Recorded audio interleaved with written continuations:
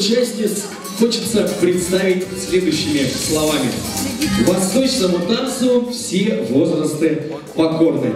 Давайте встретим группу сеньорит школы восточного танца Самира шуточным фольклорным танцем Шаби. Сеньориты на сцене!